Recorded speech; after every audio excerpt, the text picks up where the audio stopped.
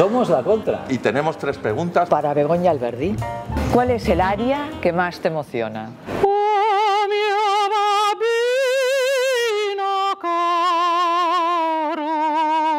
Es la primera aria que canté cuando empecé a cantar en la pandemia. Era la aria preferida de mi marido, que en paz descanse, y porque la canté en Florencia en nuestro viaje de bodas. ¿Por qué salió a cantar al balcón en la pandemia? Porque mi marido me dijo, ¿por qué no cantas? Y yo le dije, ahora no, no pega que yo salga a cantar cuando todo el mundo salía a aplaudir. Y me dice, tú no sabes lo que generas cuando cantas. Y le dije, pues apaga la luz, que no sepan de dónde viene, y me puse a cantar.